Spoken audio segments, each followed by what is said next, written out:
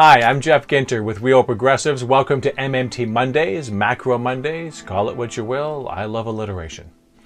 So, this is our third installment of MMT Mondays. Today, we're going to take a deep dive into the federal job guarantee with Pavlina Tcherneva.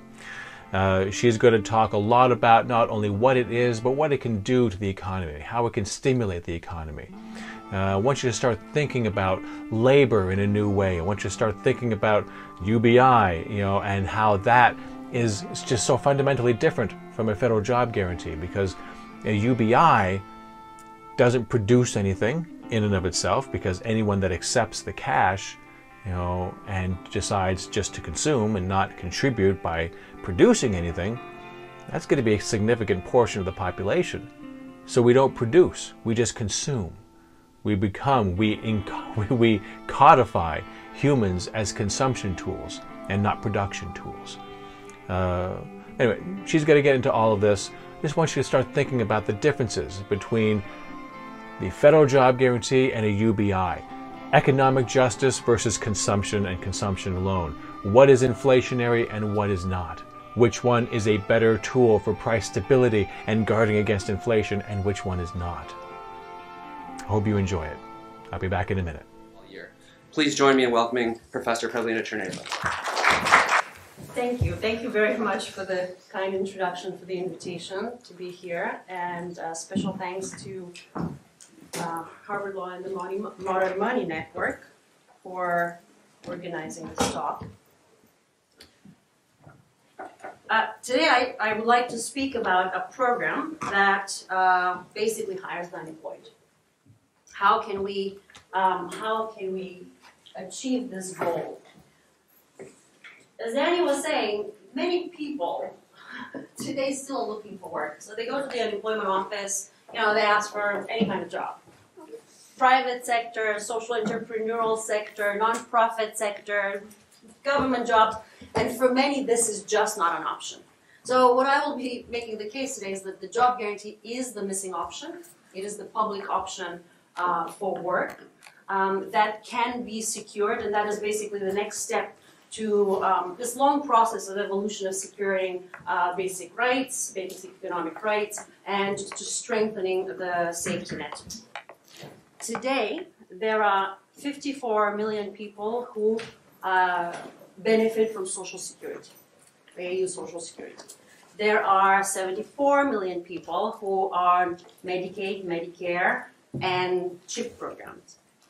Collectively, the direct spending, government spending on these programs is about 8% of GDP. Uh, we've got, how many? We've got um, 50 million kids in uh, primary and secondary education. Spending by states, localities, federal government on education is about 6% of GDP. So Imagine what the conversation would be today if we didn't have Social Security, if we didn't guarantee Medicare, Medicaid, if we did not provide public education. If today we were trying to do that from the beginning, imagine what kind of conversation we would have had. You know, we would have probably said, oh, gee, it's too expensive. We can't do that. It's going to bust the budget, absolutely no social security. And in fact, these were kind of the conversations even in the early years of Social Security. Social Security was declared bankrupt in the first year of its existence, and eight years later, we still talk about how it's not going to be there for us in the future. But it, is, it remains to be one, you know, it still remains as one of the most popular uh, programs that we have. So, by comparison, I'd like to propose today that it is a much, much easier task to secure jobs for the 7 million unofficially, officially unemployed people who look for work. Or if we do a full count, that number will probably be about 14 million today. So how can we uh, do that? Part of the challenge here is that we have essentially normalized in our conversation what is a highly abnormal situation. Part of the problem is first that we don't quite understand the monetary system. So um, this problem of not being able to fund our policy priorities is constantly uh, used as an obstacle to important policy uh, uh, um, uh, reforms. So part of the problem is just completely misunderstanding what it means to have a sovereign currency, what it means to have the public space, the policy space for the public sector to achieve its, its objectives. Another part of the problem is the way we think about the problem of unemployment. Um, and here economists are, are the culprit. Last week, the Fed issued a statement saying that we see substantial underlying economic momentum. And everywhere you read, you will see that the economy is strong, it's doing very well. Um, but if you just take the historical look, you will notice the blue line shows uh, real GDP growth and the red line is uh, employment, changes in employment. You will notice that we have kind of normalized a very unusual situation. Growth rates were much higher in the immediate post-war period, then they declined uh, in the 80s, and today they're very, very anemic. And we know that growth just doesn't bring jobs anymore.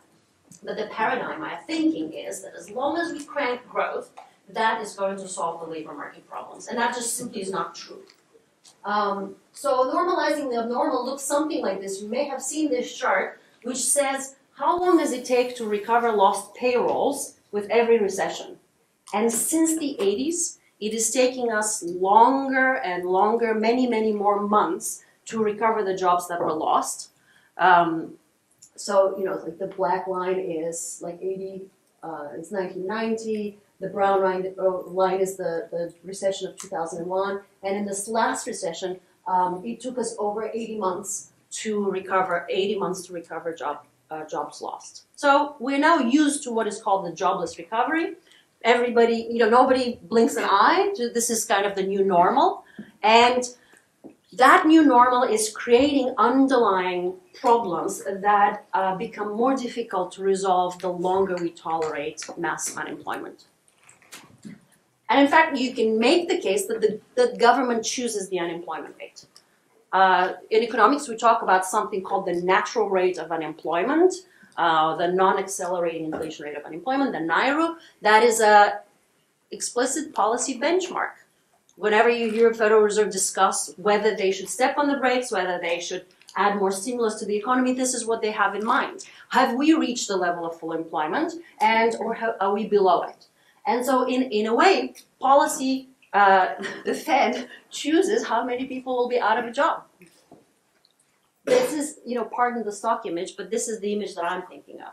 You know, this is what the labor market looks like. You know, people go to work, you know, they have jobs, and then recession hits, and lots of people are laid off, mass layoffs. And then little by little, you know, one, two, a few thousand manage to uh, get jobs back.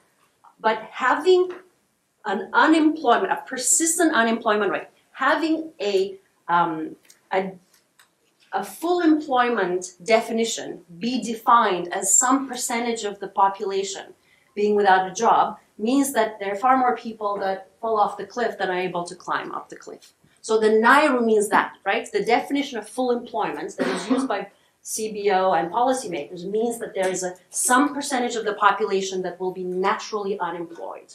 Okay? So, so that's what it means. We need to have more people than their actual jobs.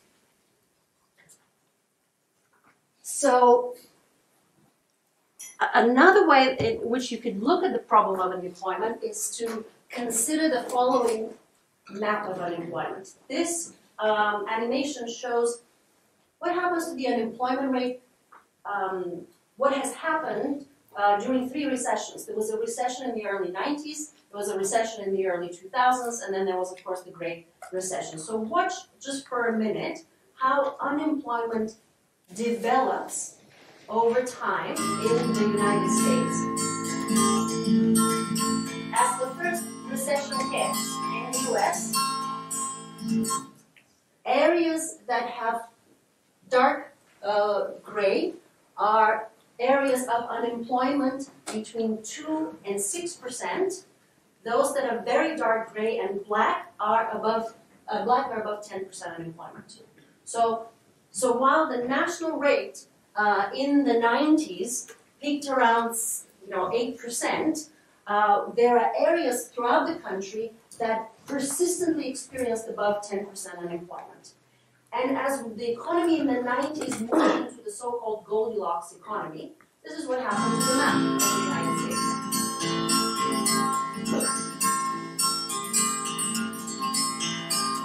This is the Goldilocks economy. So we're at the tail end of the Goldilocks economy. Here, let's take a look at the um, at the 90s or the 98.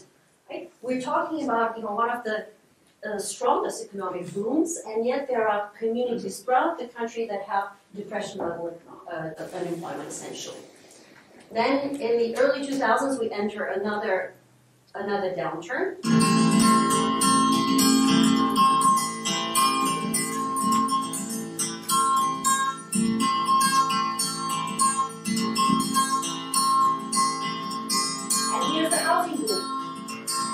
That culminates in the Great Recession. And then we recover. We are now officially in a recovery. GDP is growing. Growing. It's a booming economy now. The underlying momentum is strong. So, so while unemployment rates after the Great Recession, national unemployment rates never reached above 10%. It was only one month, in November 2009. It was for years that these communities experienced persistent unemployment. And so today, you know, when you ask people, you know, how are you doing? Uh, you know, uh, consumer confidence might be strong, but people are holding jobs that are part-time jobs, that are poorly paid jobs. And so there's uh, a large amount of essentially hidden unemployment. Now, if you, um, gave it away, but so when you're looking at this map, how it evolves over time, there is another phenomenon that mimics this kind of behavior. What does it look like? Right? You've got these hot spots of unemployment, then suddenly unemployment spreads to a periphery. Then, as the economy recovers, heals, right? the hot spots, the unemployment areas sort of clear out, but the these core centers that have persistent unemployment remain. To me, it looks like a virus. To me, it looks like a contagion effect, like an epidemic. And I think that, um, you know, as economists, we can actually treat this as a public health issue. And there are many reasons why we should really be looking at unemployment that way. Um, it's not just that it is chronic. Uh, the Levy Economics Institute, we are conducting a research to estimate uh, how many people might enroll in a job guarantee program uh, if it were implemented um, um, today. And we we find that probably between you know uh, 12 and 17 million people will. But the unemployment official unemployment statistic is 7 million. I think it's it's fair to say that uh, throughout good times and bad, we have millions of people that are out of work or seeking stable, well-paid uh, work, just above poverty um, above uh, poverty rate. It's vicious. The unemployment problem is vicious. Uh, essentially, it's you know unemployment is like the scarlet letter. It's the mark of unemployment. Un- employers do not like to hire the unemployed, and this is the paradox of our economy, where employers legitimately will say, "Look, we don't have enough skilled people. We can't fill the jobs." Uh, at the same time, there are many millions of people actually working for work. Um, we also know that there's a fair amount of poaching among firms. Uh, they like to hire people who have jobs or have been out of a job only for a shorter period of time. The longer you're out of a job, the lower your prospects of getting back in the labor market. And there's that uh, that little um, um, there's a there's a study um, that was conducted that if uh, if an employer sees nine months uh, of unemployed experience or no work experience in somebody's uh, resume, to them that's an equivalent of four years of lost work experience. It's also deadly. Uh, this is not a hyperbole. There's a lot of research from the public health literature on this particular issue. Economists simply are not informed, macroeconomists and policies are not informed by this, this literature. I have a paper again at the Levy website that documents um, the social costs of unemployment if you're interested. But essentially, we know that it increases mortality, and it increases mortality. There's a permanent increase in mortality from spells of unemployment. Um, we know that it um, that uh, one in five suicides are related, um, and it's a long-term effect, and it's very costly, not just for the unemployed uh, themselves. There's scarring effects, permanent loss of wages, family earnings, uh, permanent negative impact on social participation and social capital. I mean, these are the networks precisely that get you back into the job market. And once you're out of the job market, to use a famous phrase, you're not just bowling alone, you're not even bowling at all. Like, there's no, you know, there's no one you can see, you feel isolated, you, um, you, you lose your, your connections, your networks. And so these are the invisible costs that are very important in how people fare in the labor market. And uh, there are uh, increased costs of physical and mental health, costs that are borne not just by the unemployed but their spouses, their children, and on and on and on. The economy, of course, uh, also bears some of these costs. Um, we estimate that uh, we give up 1 to 10 billion of GDP per day because we tolerate unemployment. So, in a sense, unemployment is already paid for. And I'm suggesting today that there's a better way. We can simply redirect our resources to guarantee um, the right to a job. So, um, very briefly, you know, if we use this analogy as an analytical tool that can inform what policy we might put in place to tackle it, we know that with epidemics, we're looking at increased virulence. Unemployment creates sort of unemployability, if you will. Um, and there is this, this spread geographical pattern um, to epidemics, much as we see with, uh, with the unemployment rate. Uh, we also know that there are vulnerable and distressed communities that are particularly um, hit by large unemployment, and that, at least in epidemiology, this is they talk about an increased susceptibility um, to the infectious agent which means that your body gets weaker when you experience of this virus. And it's the same thing with the unemployed. You you become your chances of getting a job, of getting a better paid job, are reduced by unemployment, all the costs that come with it, and the longer um, the duration of, of unemployment.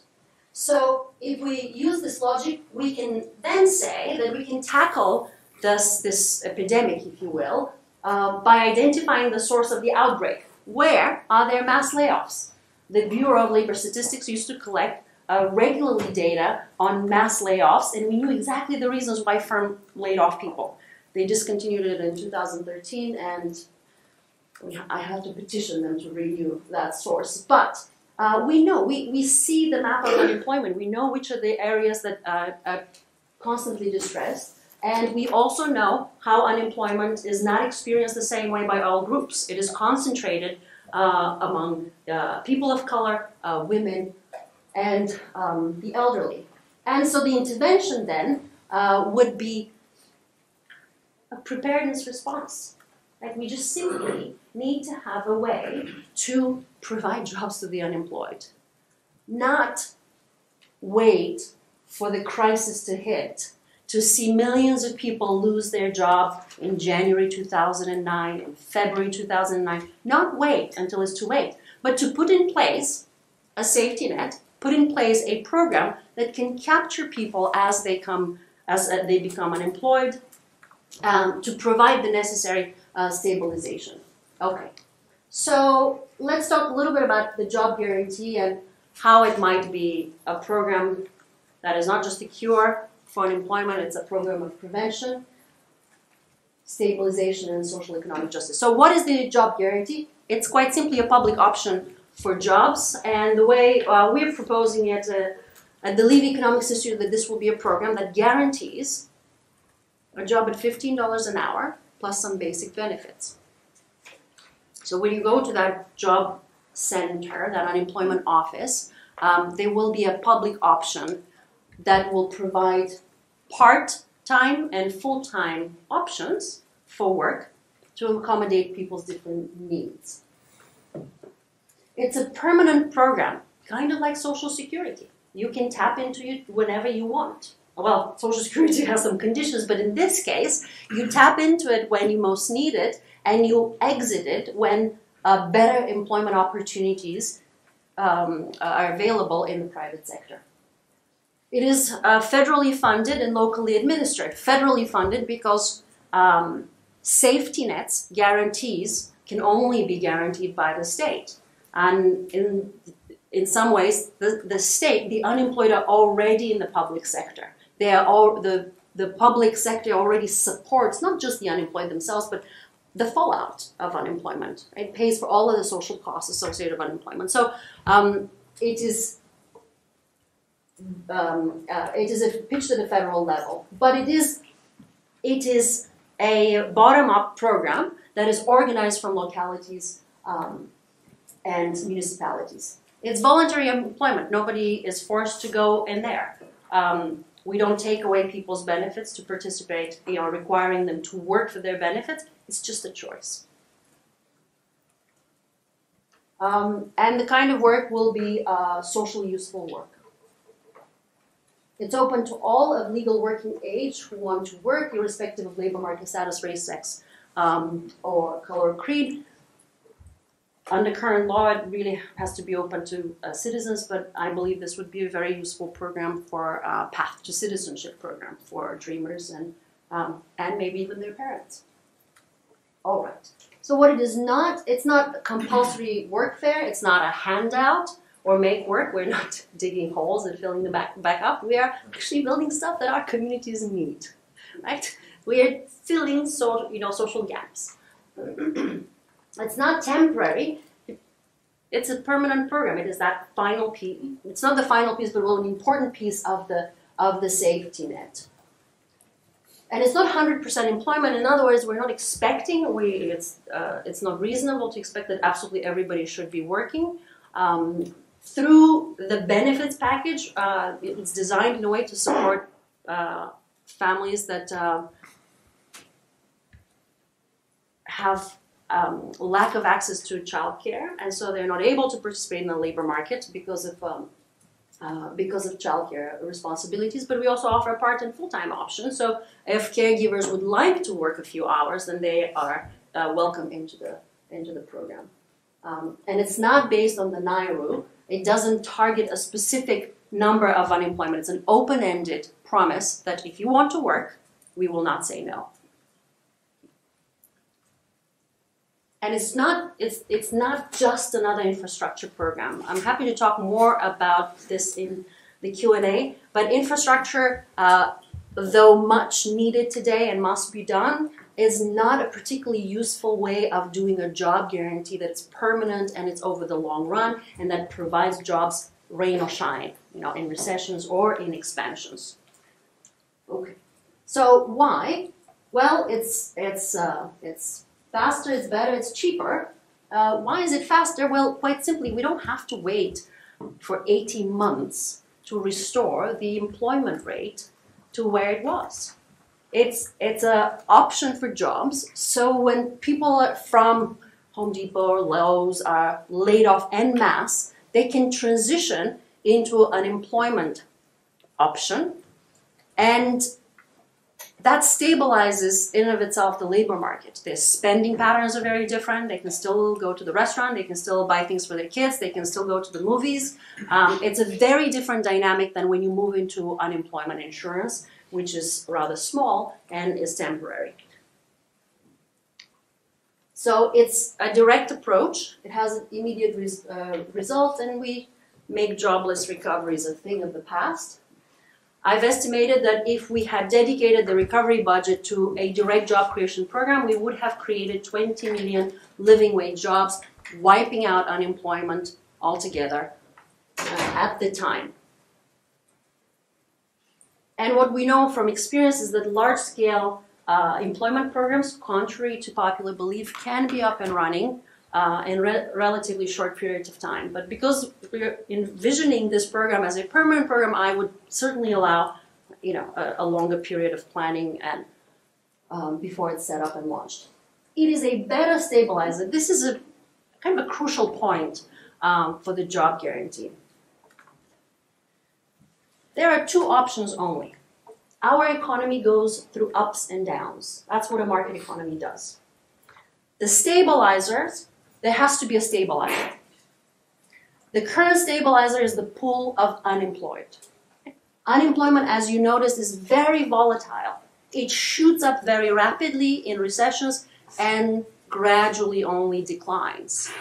That is the stabilizer.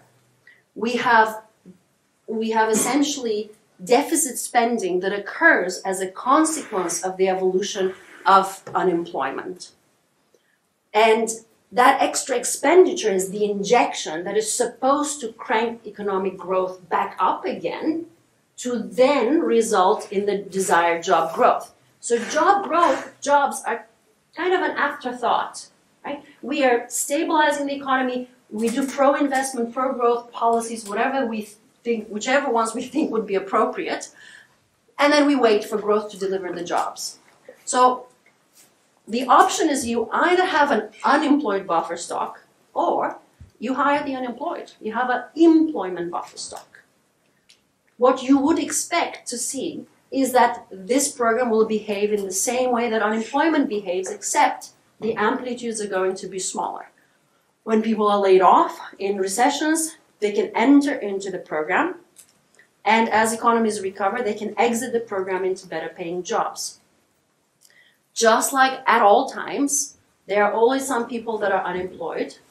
You should expect that this program will always hire some group of people into the program. There will be a pool of employed. But the program in and of itself is going to be the needed counter-cyclical stabilizing force uh, for the macroeconomy. Why is it better? Because it has these other institutional features that strengthen the, the, the labor market. The fight for 15 is going to look very, very differently if we have a public option that guarantees a job at 15, that no one can fall below that. The private sector will have to meet that condition. If your employer that is paying poverty wages and offering awful working conditions, you're probably going to have to you know you're going to have to change them if you want to retain some of those employers. So the public option becomes the floor. And again uh, while state by state we're going you know we're fighting for 15 uh, that doesn't benefit the unemployed themselves. Okay. so it raises the floor not just because we establish a minimum wage floor, it becomes the effective minimum wage for the entire economy, but if we institutionalize Medicare as part of the benefit package, then that becomes the labor standard. Private employers will have to figure out a way to uh, guarantee at least that. So it is that institutional vehicle that you know we can talk about, like what should it guarantee, but essentially it establishes a above poverty package, policy package below which no one will ever fall. It invests in the public good. Uh, we'll talk about what kind of jobs, the specific jobs, but this is a program that serves the public purpose. It is not a program that is going to, you know, build cars and widgets, etc. It is going to fill needs gaps um, uh, in the community and um, work that the private sector does not do, does not have incentive to do.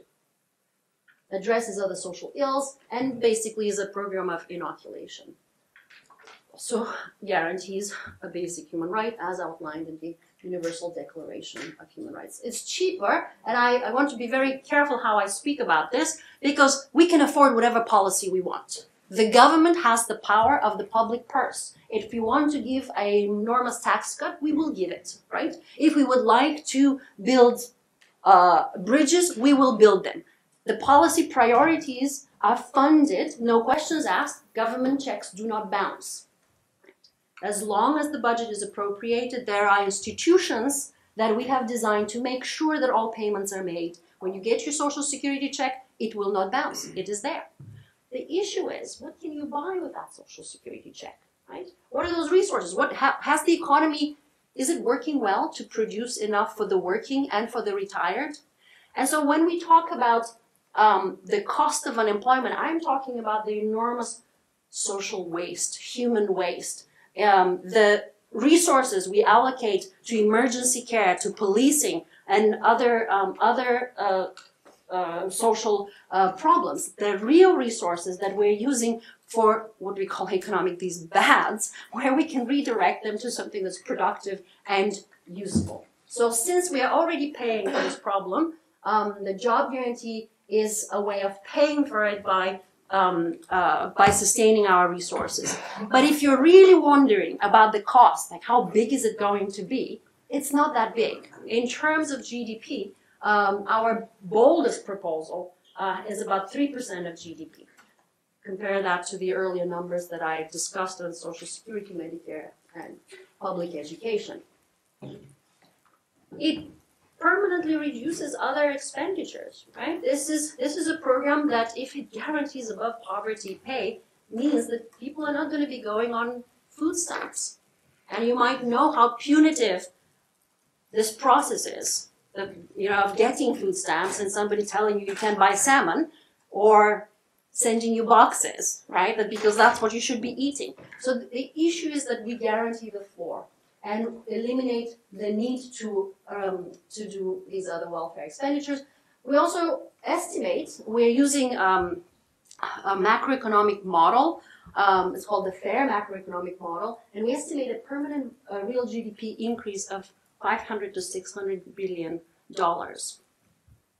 Uh, a permanent increase of private sector jobs between 3 and 4 million, that we're talking about a permanent bump. And we're not talking, we have not yet simulated the cyclical effect. So in good times, the private sector actually will create many more jobs, and in downturns, uh, uh, some of those people will actually shed jobs. And we also find that it has a negligible impact, impact on inflation, and uh, we are concerned with uh, looking at uh, reducing the invisible social costs of unemployment. So, for example, um, you know, a lot of former inmates have trouble getting back into the labor market. And the movement to ban the box, right, is fantastic. But what good is it if you can't find a job to begin with? So if there were employment opportunities for people who are most at risk, with greatest difficulty getting back into the labor market, then uh, we would expect great reductions on uh, incarceration. There's a program, uh, as an anecdote, in Jacksonville that gives jobs to uh, former inmates, and they boast a recidivism rate of about 25% compared to 50%, which is a national recidivism rate, uh, and about 70% for young uh, people. What that means is that people reoffend or go back into um, uh, prison within two to three years. There's a very high uh, recidivism rate. With the jobs program, they've been able to halve it essentially, to cut it in half. And in the state of New York, it costs about $70,000 to incarcerate a person. That's two job guarantee jobs with benefits. So I'm not saying you know all all you know it will reduce all costs of incarceration, but there is a very important link between unemployment, poverty, and that vicious cycle that you know uh, leads to um, uh, incarceration. So we know that people of color in the labor market don't fare as well as others. This is just a very simple illustration to show that uh, they, uh, you know, African Americans tend to have double the unemployment rate of um, uh, whites. And among African American youth, we have constant and persistent levels of, of uh, unemployment, depression level unemployment, about 25% today. So how would we know, how do we know that this program would work and will help them? Well, we've had an experience here in the United States with precisely this kind of program. We had a job guarantee for young people in 1978 uh, called the Youth Entitlement, Employment Entitlement Program. And it ran only for a few years, but it did guarantee three years of work into this program. It provided part-time job opportunities to um, young people during the school year and full-time job opportunities over the summer. It was really, it's really quite impressive to study it because it was, there was a very high take-up among black youth. And what ended up happening is that it reduced the differential between black and white youth the employment to population ratios became equivalent, And they had a very strong post program impact on wages. Um, it's you know, the, there's a detailed study of this, but basically this indicates that it's really shortage of jobs and discrimination that are obstacles for for um, these young men and women. It wasn't that they are just not motivated uh, enough, and that's why they had higher levels of unemployment. And interestingly, they transitioned out of the program. A lot of these jobs became permanent. You know, from apprenticeships, they actually became permanent jobs. So they transitioned sooner than what the guarantee um, was giving them. Okay, um, let's look at women, care and work. This is no surprise perhaps to you, but um, women's employment varies with the number of children. Men's employment does not. So uh, while you we have about 60% um, of employed uh, women have zero kids, with four or more kids, we have um, less than 30, uh, less than 30 percent. With the percent of employed uh, full-time men, basically stable, irrespective whether you have one, two, three, or four kids. When you look at American attitudes to work, uh, people want to work, but for women in particular, caregiving is an obstacle. So they often like to work part-time. This would be an option for precisely those women that cannot find adequate part-time employment opportunities. Um, I will give you an example of the effect on poor women um, that comes from Argentina.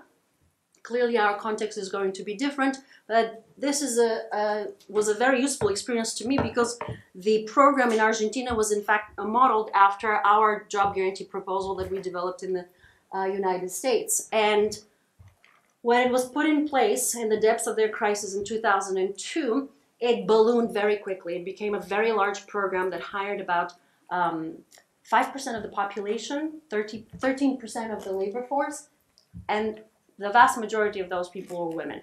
75% uh, were women, although the program was only for heads of household, uh, unemployed heads of household. So they enrolled in large numbers. Um, there were surveys, and I had uh, visited a number of projects, but basically people were quite satisfied with, with this program. And I have an income was not the reason why they worked.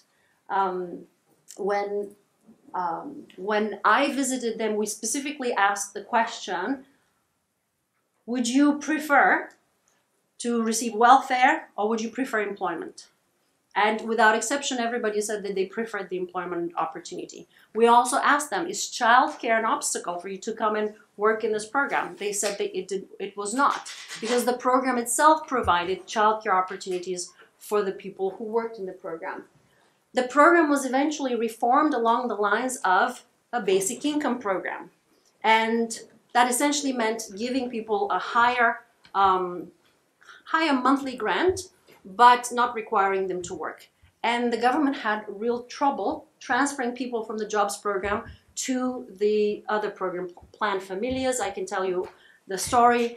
Um, eventually, they shut down the job guarantee, so people were just you know naturally transferred to. But while the two programs were running in parallel, they ran a pilot in one province and the World Bank went and studied it, and they found a very low take-up rate. Um, okay, and then what was important uh, for, for me was to see whether this program, in its short life, exhibited the features that uh, I've been discussing um, of a large-scale job guarantee program. It seemed to be countercyclical. It ballooned very quickly in the depths of the crisis, but very gradually those um, those payrolls declined as people found employment elsewhere as the economy recovered. About 96% of those who found jobs elsewhere found those jobs at a premium above the wage that the job guarantee um, offered.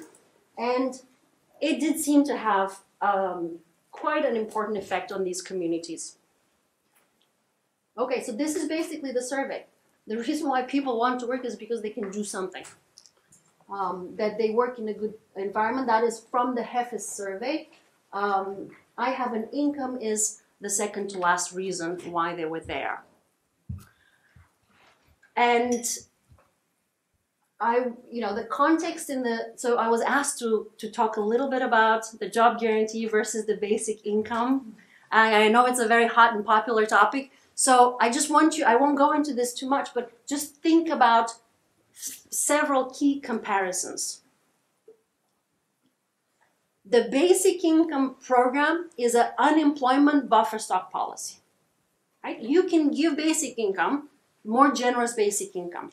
But private sector employment is still going to go up like this. And there will still be people who will be losing their jobs and getting their jobs in, with the cycle. So the basic income is not really a counter-cyclical buffer the way the job guarantee is because it's provided at all times, right? Rain, or shine. So it doesn't have this price stabilizing counter-cyclical feature. There's also no uh, immediate and direct production of output.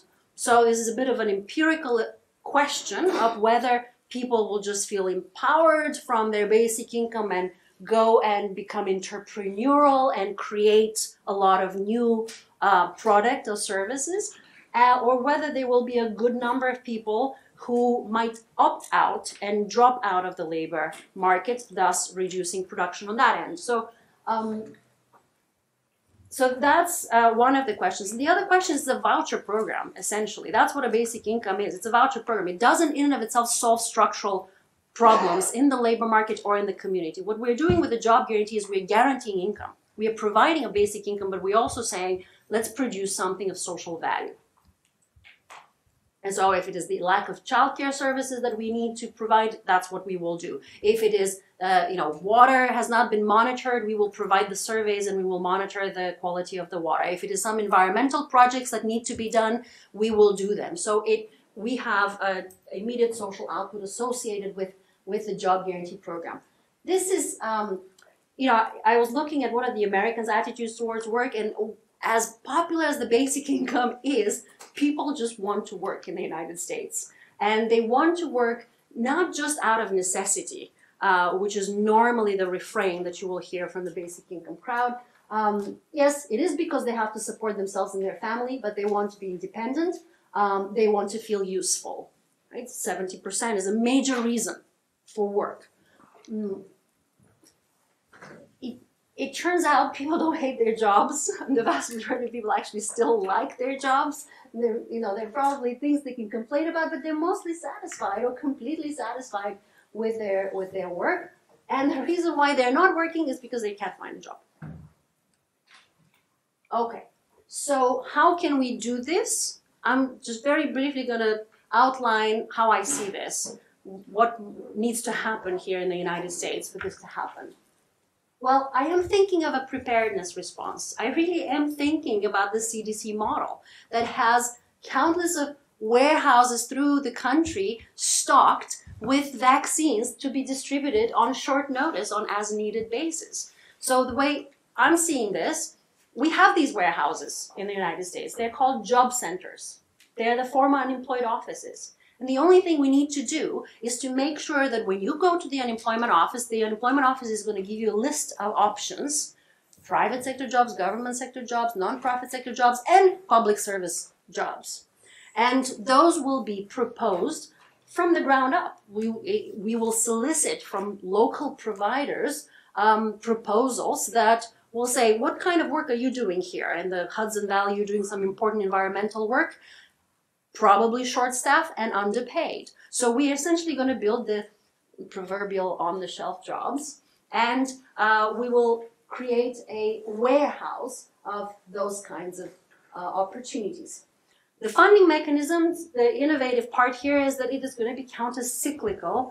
Uh, I mean, this is really for the lawyers in the room and for the politicians to sort out how, how possible it is. But it is with disaster relief, that's what we do.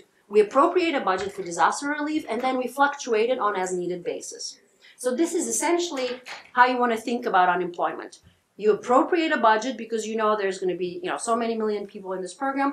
And if there's a stock market crash and you end up with like five more million unemployed, then uh, there has to be an appropriation that allows the counter-cyclical fluctuation to be able to allow the program to be the stable, the stabilizer, the economic countercyclical stabilizer that it needs to be.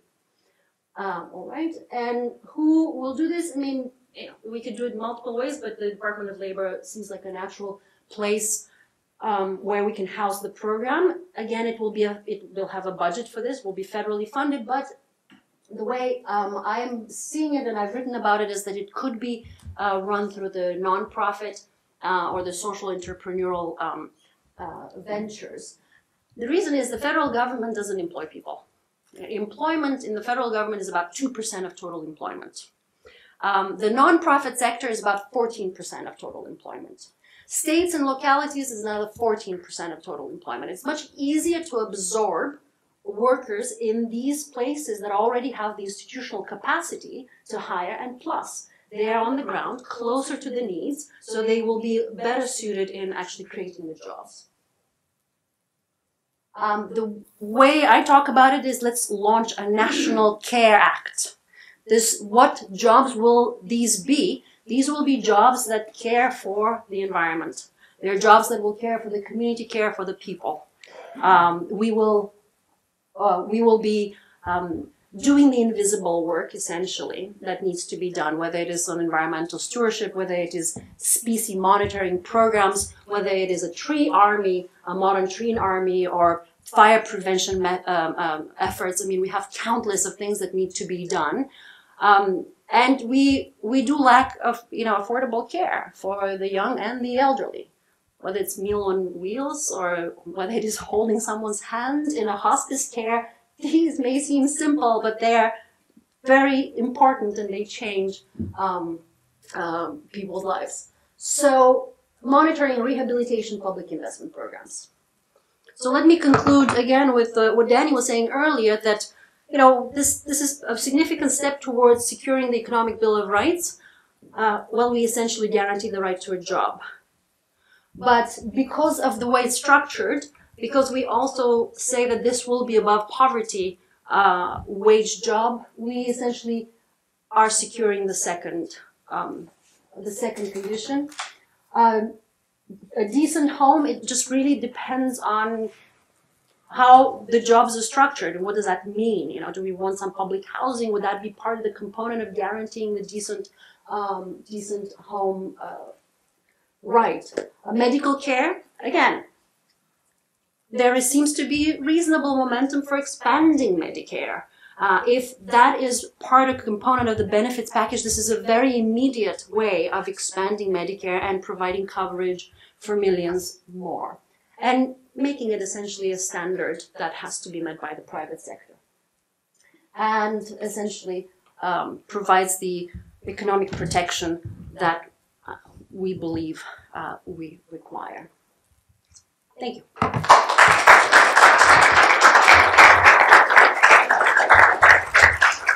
So I know people might have 1 p.m. classes, but we have this room until like 2. So we'll take questions as long as you've got them. Kate?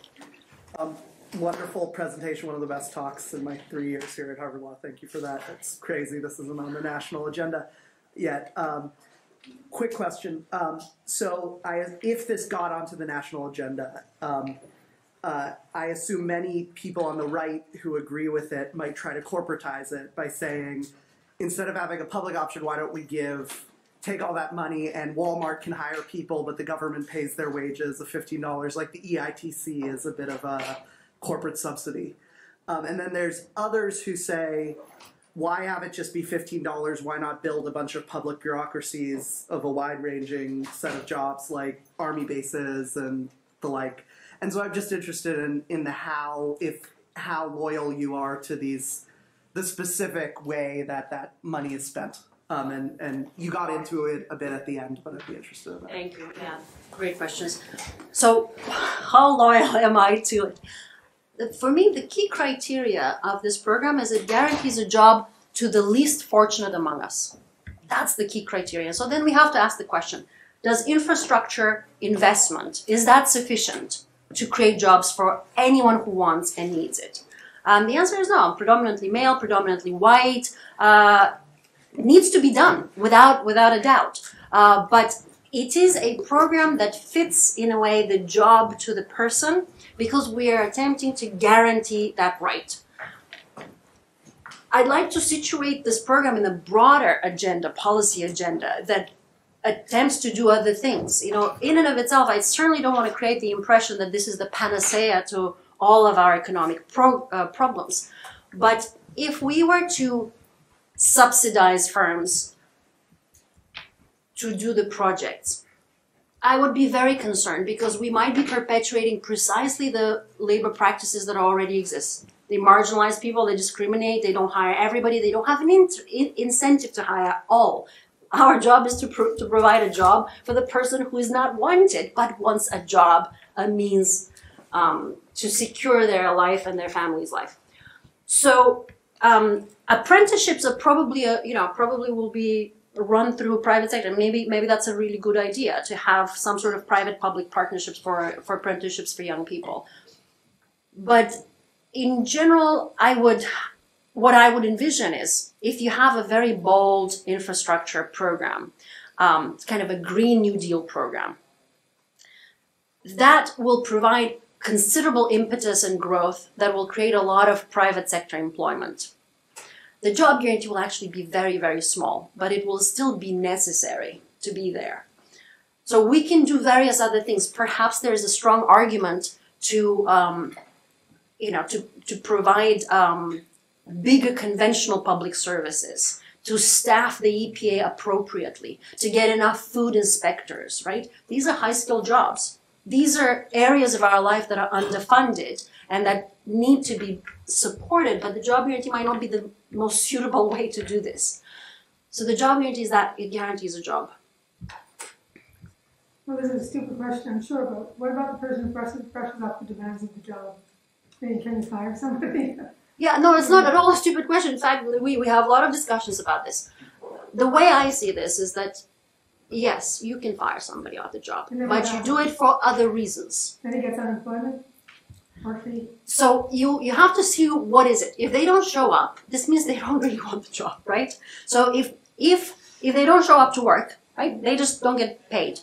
If a person is unable to perform the duties, like we measure success by you know, have we weeded this garden, right? Have we cleaned up this space? If the person is not able to, uh, you know, to show up or has other reasons why they cannot really be effective on the job, we, the job guarantee will provide the support. Maybe there's, maybe there's, you know, the opioid crisis. Maybe there are people that have, you know, drug dependency problems that would like a job, but they have other challenges and obstacles. Maybe it's childcare that they can't hold on to the job. Maybe it's transportation. The job guarantee thinks about how we provide the conditions for people to be successful. If somebody is security or safety risk, and I, I can use the example of a public library, right? If somebody comes in and is a threat to others in the public library, they're escorted out. Are they banned from coming back into the library? No, they're not. And so it doesn't mean that people cannot be successful at the job. So it's, it's kind of an aspirational program that, that attempts to provide the opportunities that we believe um, fit uh, fit people. You know, they're you know we have to do it with people in mind. We don't want to expect them to do certain jobs that they cannot do. You know, if somebody, if someone is disabled but wants work, we're not going to put them to do a tool shed outside in the community garden, but we will have them do website work that will document and maybe catalog the work that is being done. Because there are many people who want to work, but the jobs are not there for their specific situation. Yes. Um, so earlier you were talking about how currently, uh, when you're unemployed, it's really hard to get a job because of the stigma that's attached to unemployment. I'm curious, uh, if you have any concern or if there are any ideas about how to mitigate the stigma that might be attached to people who lose their, get laid off and then spend some time in a federal job, guaranteed job, and want to maybe move, you know, back to the sort of work they used to do or some other thing that's not, you know, not through the job guarantee. Yeah, I, I don't think that this is a complete solution. It's, it's not a complete solution to this this problem. I mean, but the way I see it is, you know, what is by comparison, what is worse, to be unemployed or to be working in the federal job guarantee? And also, it's not clear. You know, if on your resume it says, you know, environmental work, yield monitoring, uh, etc., it, it's not clear that the employer will stigmatize you and say, ah, you're one of those people, right, from the jobs program. They will see what, what the sort of work that is being done. I don't think it will eliminate the, the problem altogether, completely. And, you know, when I was in Argentina, we talked to the government officials, and they had this kind of preconceived notion about those people that don't do any work. And then you go and look at the stuff that they actually do, and you're like, what are you talking about? yes. Could you comment on age-related opportunities and limitations? And then uh, uh, possible protections against seasonal abuse where there are certain markets that in the summer have high demand for employment or at harvest time have high demand for employment. Could you comment on those types of issues? Yeah, I mean, with respect to age-related employment, I didn't put this data in the, so you can look it up in the Pew Research Center on attitudes towards work. People, you know, uh, older people experience significant and increased economic insecurity, increased economic insecurity. So they find themselves having to work. The way I would do it is I would lower the retirement age, uh, but the job guarantee will always be there. So if you would like, if you do not want to be, you know, if you can't be, you know, just retired, but you would like to work in a community work, why not? It will not uh, say no. It won't turn a person away. Uh, with respect to seasonal work, I mean that's part of the problem that we're trying to to address. There are you know farms in the state of apple picking farms in the state of New York that hire a lot of people, and then those people don't have jobs during the winter. Same with you know some construction work. So this this job uh, guarantee will will absorb some of that. It will have to be designed where some of this work can be offered on short notice. So I'm you know I'm thinking of you know just some some small infrastructure stuff that can be delayed. You know, building tool sheds or cleaning up, you know, reclaiming materials, um, cleaning up lots, uh, public lots that, uh, uh, you know, some of this stuff can be timed. Some of it um, depends who gets laid off. I mean, you can easily shadow teachers or you can shadow nurses. Uh, and that would be very, very quickly can absorb somebody where, where you can get a job on short notice but it's it's more of a training on the job program, right? You're shadowing and you're learning what you're doing. So that would be a very quick uh, way of creating. Would it exclude high school students? So the way we model it is for 16 and above, but I think it makes sense to maybe do 18, um, 18 and above. This is more of a, of a planning question. There are a lot of young men and women who support their families um, presumably because there are no good jobs out there. So perhaps it's not necessary to do this, but uh, some sort of part-time apprenticeship program for high schoolers, I, I see why not. I don't see why not. Yes. Hi. Uh, great talk and really nice ideas. I think I have two questions. One is uh, how do we address automation? I mean, increasing automation is displacing jobs. Uh, so how does this program work in light of automation? And second is monomatic. People will say that people might become lazy as a consequence because there's always a job guarantee. Uh, so that might decrease private sector performance. So how do you address these two questions? Okay. So automation, you know, the way I think of it is there's no iron law that says that I can't create a job for a person who wants one. Whatever happens to automation, let the private sector automate. Some bad jobs really need to be automated. Great. 80% of our jobs is uh, produ- reproducing labor. Like we, we serve each other, right? It's education, it is care, it is entertainment. That's it. And yes, you can you can choose to automate them, but you can choose to have a person holding the hand of the person in the hospice care. You could put a TV there, but it's not going to be the same as care, right? It's the same thing with education, right? It's we design the jobs on the basis of what we value. So that's on automation. On lazy, um, I just don't believe in this paradigm that we have to make people miserable and we have to punish them to exist. Let them be afraid for their future so that they can be good workers. And I think that we can just have a better economy. Christy. So I think it's a really powerful argument, and um, so thank you very much for coming and laying it out. And, uh, in a way, my question follows from the power of the argument. Can you speak a little bit about the politics of why the pilot, pilot programs were dismantled? So what, you know, why do the politicians take part, either the youth entitlement or the planned deaths in Argentina? What's the politics of how this gets? Um, I'm more familiar with Plan uh, with Plan Jefes. It was primarily, I think, on ideological grounds, but I think um, the first step is why are they put in place? If they're not put in place in, as guarantees, it's very easy to remove them. If they're crisis resolution tools, like the New Deal, like in Jefes, then um, the economy recovered robustly. They saw no need to guarantee con- continued employment um, to others. Um, the program that exists today in India, the, nat- the, the National Rural Employment Guarantee Act, is the largest job guarantee program in the world, and it was enshrined into law as a basic human right. With all of its difficulties and their political challenges, it is kind of under similar defund and destroy attack.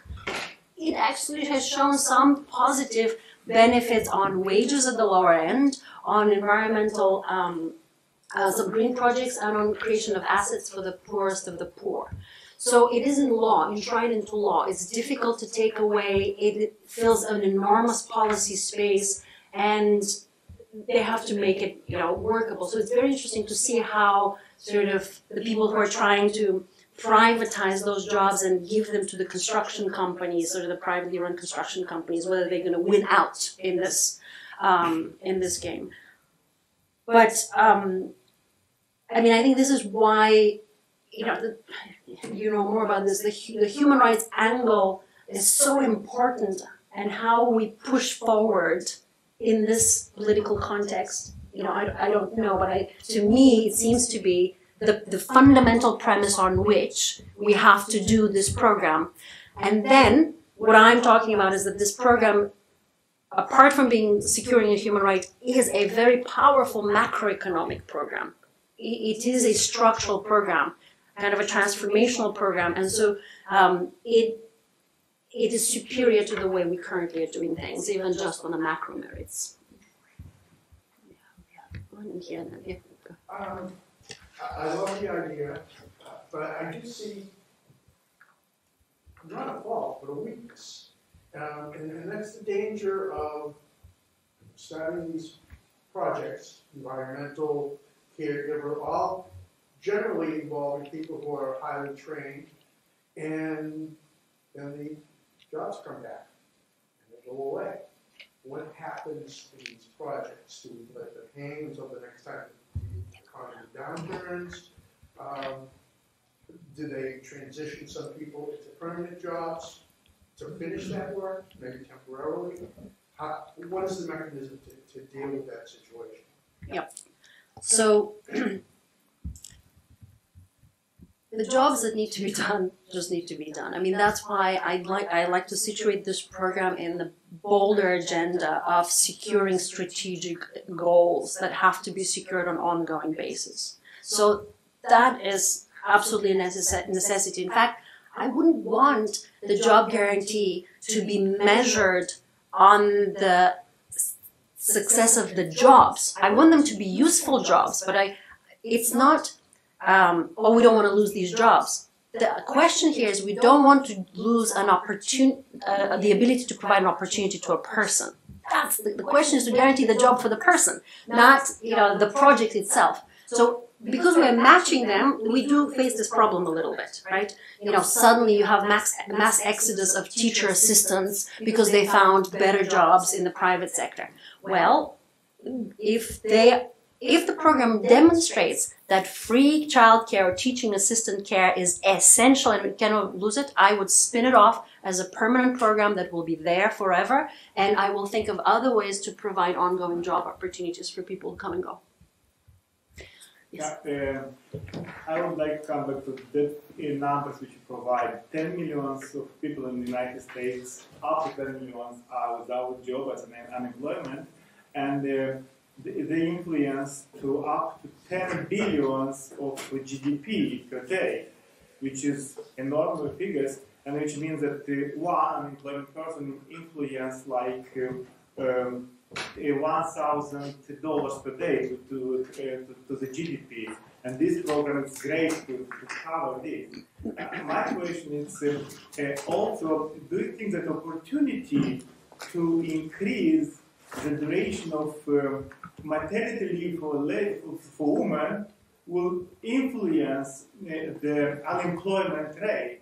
So if um, the woman will be able to stay home, let's say three more months or even more, like in Europe, uh, will this influence the unemployment uh, rate? Will the companies have a pool of uh, additional employers to uh, cover during this period of time? The same with vacation. So it's in United States vacation, it's two, twice uh, shorter than in Europe or other countries. What is your point of view on this? Okay, if I understood the first question, how is it possible for a small pool to create such a big real GDP impact? No, it, it was just a presentation that it's like that. So Mhm. uh, uh, 10 million of unemployment in the United States uh, um, lose opportunity to have 10 billions per day of GDP. Ah, okay. presentation. Okay, sure, sure, And sure. This is 1,000 per day, which is enormous. At the same time, so the second part of the Yep. So, all right. Um, so, you know, we're, I mean, we are raising the floor significantly. We're, you know, a, a full-time job at 15 is $31,000. Uh, you know, $31,500. Plus we add benefits. Uh, so that is a, there are millions of people who earn below this. And in fact, the, there has been such an erosion of hollowing out of the middle income group that there are millions and millions of people who are at the um, uh, below poverty. I mean, the 17% of working people are in po- uh, live in poverty. But so so um, we are really raising the floor, but we are also kind of stabilizing the floor there. So I won't get into the sort of the inflation impact, but the floor includes certain benefits, and that one of the benefits is I don't know if I mentioned it, but it's the paid leave benefit. I did. I, I think I had it on the slides. Paid paid leave, free childcare paid leave. So there is. We have. We're the only country in the world that doesn't have paid leave, federally mandated uh, paid leave, except for two small nations. Um, there is a big movement to make paid leave from states to states, and New York passed uh, passed it last a few years ago. California was the first. This is a very quick way of doing universal paid leave, but it's universal. You know, the man and the woman can benefit from it. You know, maternity leave is uh, it, it is needed, but parental leave is a, a better way of going about this because it allows the household to negotiate. Um, you know, who goes to work, what kind of work, part time or full time. The Pew Research Center on attitudes of work was, if you look it up, it's, it's quite fantastic. They, you know, it's actually it's pretty awful, I should say. There is a question about um, attitudes toward women working, whether what's the ideal situation, whether women with children should be working, and what's the ideal situation for the kids. They didn't ask the question, what is the ideal proportion of, of men with children working, right? So there's like a whole discussion about, oh, how women really ideally should be doing part-time work, and uh, but the question was not asked of men. The reality is women also hold these attitudes. So, you know, this is kind of a long legacy of, you know, how we see women's work and how we, how women have fared in the labor market. As women have entered the labor market, those attitudes have, have changed quite significantly. This is one, very quick way of sort of stabilizing a floor for parents, families, partners, uh, caregivers that can then choose who's going to do the caregiving. Any more questions? Oh, Yes. That's very fun, I really enjoyed it. Thank you. And, um, so, my question was, when you were talking about implementation, let's say someone was doing a job and, um, was a volunteer job in the city, they're on council, they're on committee, finance committee, and they decide they're gonna take over this volunteer work. It's turned into a lot of hours. Could they go to this employment office and say, I think this would be, um, a federal, a federal job? Could they do that, or, I guess I'm thinking about or, or would it be, you're gonna have, so the employment office, uh, the unemployment offices that we have now, would it be converted into an employment office or federal job guarantee office, so those, so, so that structure is already there? And then who would be deciding, well, these are the kinds of jobs that we need, would they be reaching out to community, would it be, um, would hire a community, a group of people to decide that? Would it also come from people looking for jobs, coming in and saying, hey, I'd like to do this? Could like, what would be the, uh, the implementation of it and also the, how flexible would it be around the kinds of jobs that Yes, thank you. So, first, I should say President Obama renamed the unemployment offices and they called one stop job centers. And they provide a host of, of um, services and benefits from helping with your resume to um, uh, workshops on how to be more confident at the interview. Right? They do a wide range. One thing that they cannot guarantee you is a job. So I just propose that we really truly make them one-stop job centers where you get a whole list of options, plus including the public option. The program proposal in my ideal world will be a bottom-up proposal where it will involve exactly all of these constituents, whether it is like a local committee that includes people from the city, uh, you know, people from local nonprofits, yes, community groups, the unemployed themselves. The uh, in Argentina, that's what happened. I uh, they had a, a a proposal where the unemployed themselves organized, and they have a lot of small political parties and organizations. Uh, the political landscape is a little different, uh, but they organized and they said, okay, what do we need here? We need a bakery. And we have so many people that we can staff it with. And there was a channel from the bottom up that went directly to the Ministry of Labor to uh, propose these projects. I talk to a lot of people who work in the nonprofit sector and say, "Oh, I can think of so many things that we can, you know, we can propose for for a job guarantee program." I mean, there is a little bit of an issue with the volunteer work, and you know, some of this volunteer work um, is needed, essential, but not a very good way of providing that service on ongoing basis, precisely because you cannot guarantee the volunteer work as a consistent you know, perfectly staffed. So maybe it is okay for some of those volunteer uh, people to um, um, convert their their uh, jobs into their opportunities into paid jobs. And so, you know, I'm I'm well, you know, I'm open to this kind of um, proposal process. I don't think that it would necessarily reduce overall volunteering. You know, I, you know, we could still go and volunteer in our churches, in our schools just because the job guarantee is there, we can still participate in the public library events. Um, but it might allow us to volunteer a little more because some people don't have the luxury to volunteer. They just don't, like you were saying, they don't have the time, they don't have the income, they may want to, to do more. Um, so the impact on volunteering, I think, is a little ambiguous, uh, but I, I don't see it being reduced in great numbers. Some of this work should be paid. All right, I think it's going to wrap it up. Please join me in thank.